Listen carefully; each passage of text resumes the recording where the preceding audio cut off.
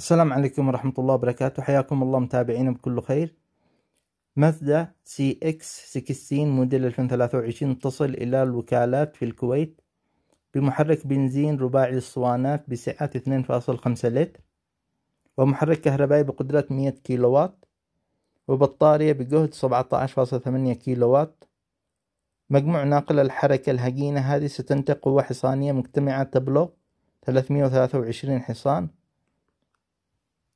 وهناك محرك سوف يكون أربع اسطوانات بسعة اثنين لتر يولد مية وأربعة وثلاثين حصان. وفقا لمازدا فإن سيارتها الجديدة قادرة على الوصول إلى مية كيلو متر في الساعة في خمسة فاصلة ثمانية ثانية مع سرعة قصوى قدرها ميتين كيلو متر في الساعة ويمكنها السفر لمسافة تسعة وخمسين كيلو متر باستخدام الطاقة الكهربائية وحدها.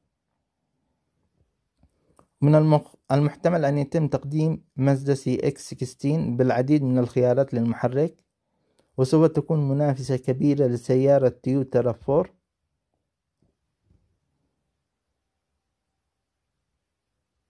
طبعا هذا نظام الدفع الرباعي وهناك نظام دفع خلفي.